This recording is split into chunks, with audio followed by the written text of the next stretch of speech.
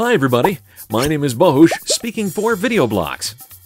I'm here to show you how easy it is to find amazing content on videoblocks.com. Then we're going to walk through getting VideoBlocks media into iMovie so you can easily add lots of production value and professionalism to your next project. Are you ready? Let's get started. Here's what the VideoBlocks website looks like. Now, sharp-eyed observers might notice that I'm using a PC for this portion of the tutorial, but it all works exactly the same way on your Mac. The VideoBlocks website is actually a powerful search engine and media browser. So let's type in our username and password. Now that we've logged in, we can start searching and previewing media. You can use the search tool right up here, or by hitting the browse button, you can kind of uh, see what's new and what's exciting and check out categories. And this is a nice way to get started if you've never looked at VideoBlocks before. Now, there's a lot of royalty free content here, and your subscription gives you access to all of it. There are no hidden fees later on. And what else is cool is that you can access your account from wherever you are. So you don't have to carry around bulky media, uh, nor do you have to pay for clips, you know, like in a DVD collection uh, that you won't ultimately use. You just download what you need and you can use it any way you want. Your VideoBlock subscription unlocks unlimited access to everything you find on the site. We'll search for some of the same clips that I used for this little project I made just using downloaded assets from VideoBlocks.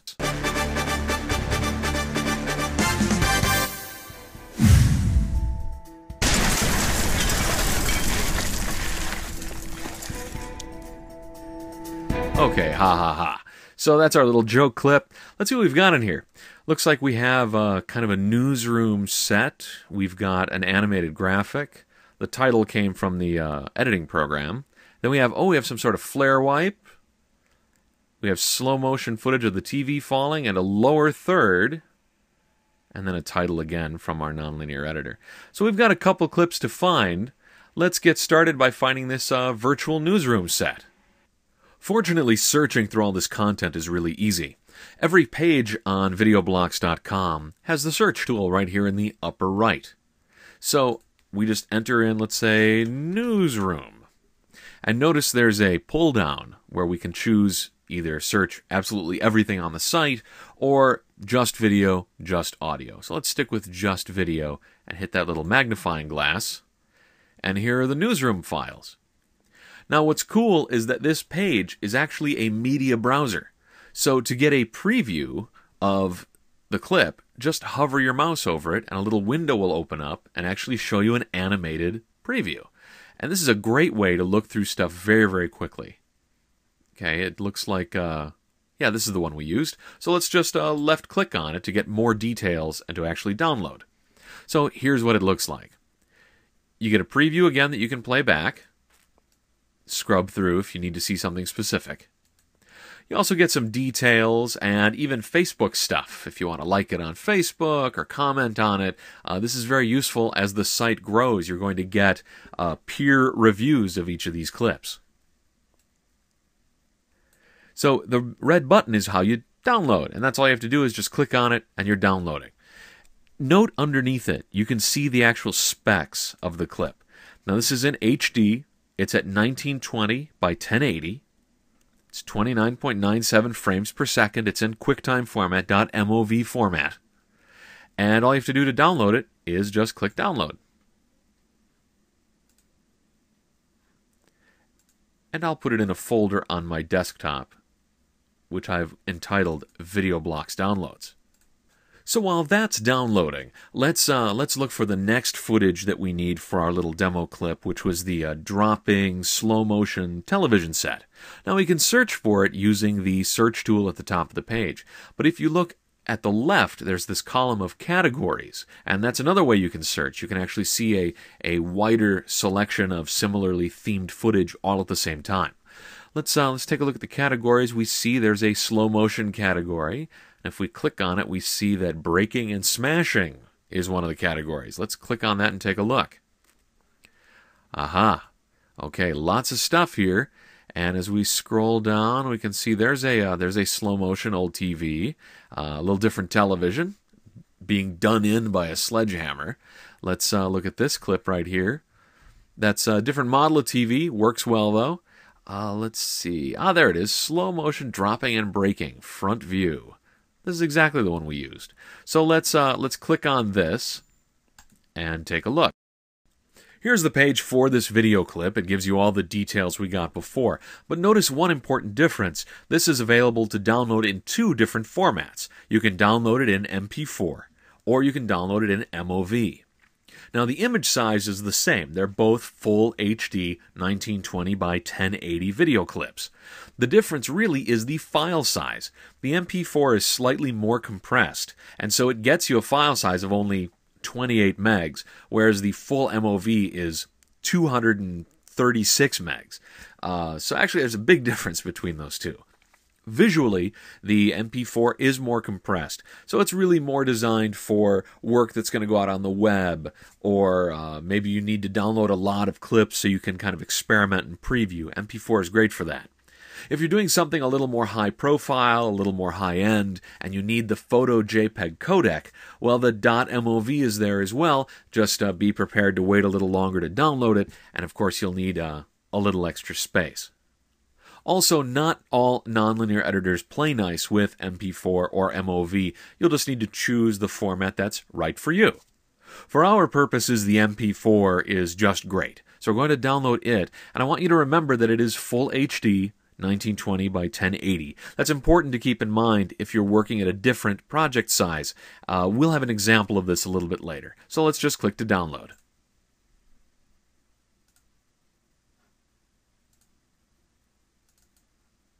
While that's loading, it's time to go looking for sound and some music. Now, uh, we can use the search tool. We can use uh, audio has its own category browser. Let's uh, Let's just see what we get if we put in news. And we'll search just audio and click the magnifying glass. News and hover. And again, you get those great little previews. Oh, okay, that sounds so newsy. Uh, so let's click on that. That's the one we're going to use. Here's the page with more details about the audio clip we were just previewing. Uh, you can hear it again if you need to. And you're presented with two choices for downloading. You can download an MP3 or you can download a WAV file. Now, it's the same caveat as before. The MP3 is compressed to uh, give you a tiny file size, while the WAV is the full uncompressed audio clip in my work, usually I'll use the MP3 if I'm previewing stuff, especially for a client, and then um, I'll go back and grab the Wave because they're not that huge. You know, they're not going to eat up your life through all this downloading. Uh, for right now, let's just grab the MP3 and we'll download it to my machine. While our video blocks are downloading, let's uh, let's open up iMovie. Now, the first thing we want to do is go into iMovie's preferences. Just go into iMovie, Prefs, and make sure that Show Advanced Tools is turned on. We're going to be doing some cool things as part of this demo that require the advanced tools, so make sure they're turned on. Now let's create our project. Go to File, New Project, and here's where we name the project. I'll just call it VB Demo. And then notice you can make a couple choices with the frame rate.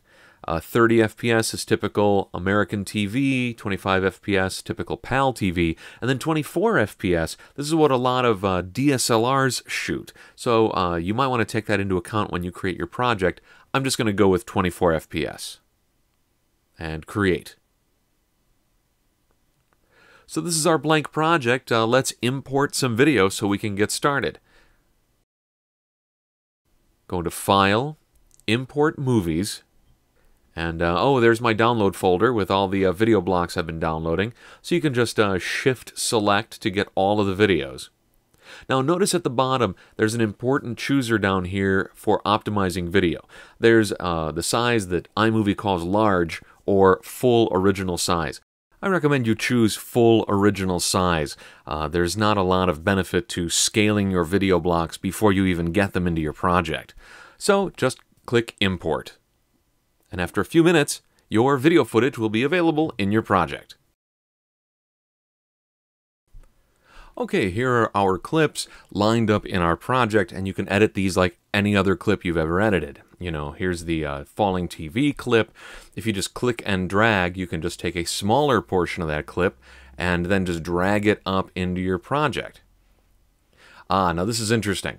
Mismatched frame rates. So what this is telling us is that the video was shot at 30 frames a second, but the project is set to be 24 frames a second. It's asking what do we want to do? Well, to make life easier, let's just hit change, and then it'll make our project 30 frames per second from now on. Okay, there's our there's our sub clip. So let's drag some more things in there. Let's grab a little piece of this uh, this fire footage, drag it in.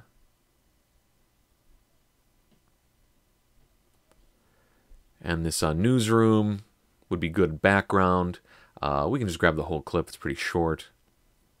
Okay, and there's our little mini project. We downloaded some music from videoblocks.com, so let's look at adding that to our iMovie project. Now keep in mind, iMovie looks for music in your iTunes library. So I'm just looking at the uh, folder where I downloaded my VideoBlocks stuff. Uh, control click on the track that you want, and then go open with iTunes the uh, you'll hear the track play, and that's adding it to your iTunes library, which we can see. Let's get this window out of the way. Click on this little musical note in the lower right corner. There's our iTunes library, and there's the music track. It's uh, the only thing I've got in there. Drag it into an empty space, and you can see it represented by this green square, and you can even see how much time it's taking in the uh, timeline of your project. So there you go, very simple to add music and position it where you want. I'm going to remove it uh, just to make room for a cool overlay effect I want to show you. As you look around on videoblocks.com, you're going to see that certain clips are marked with a alpha transparency. Now, iMovie doesn't use alpha channel. Uh, like in this case with this fire, in a in a different piece of software, this fire would just be overlaid on top of other stuff. You wouldn't see any of that black background. Of course, you can use any of those alpha channel clips as just a regular clip. You know, in the case of our fire, that would look great behind a logo or as part of another part of a scene or something like that.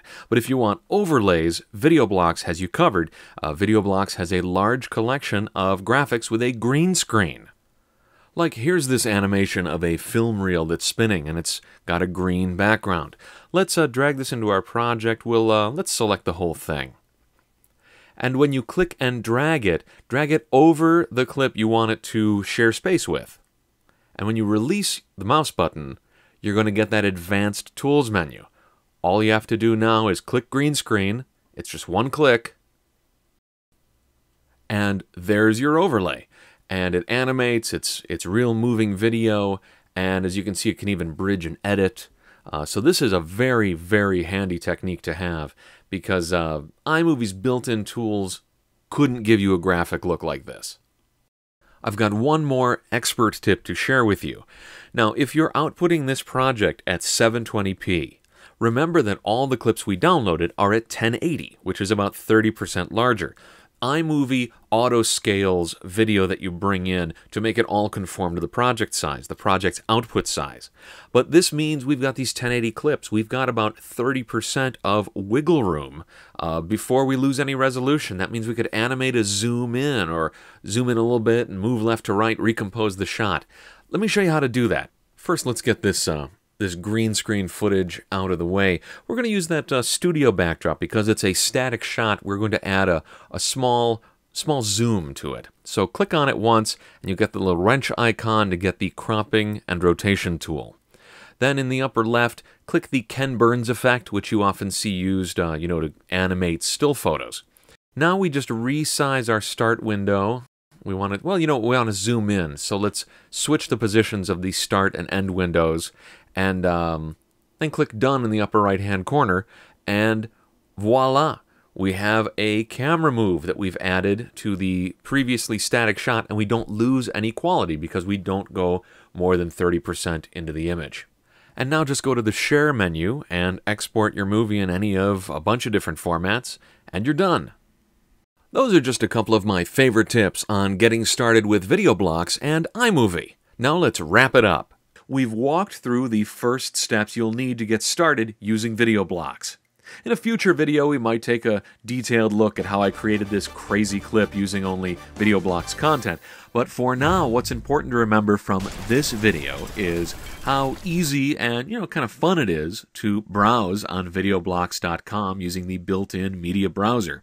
Uh, you also learned about the choices that you have as far as file formats when you're downloading. When you're editing an iMovie, you'll find that you can import pretty much any file format that you find on videoblocks.com. When it's time to export your finished video, it'll look extra pro thanks to all of the media you downloaded from VideoBlocks.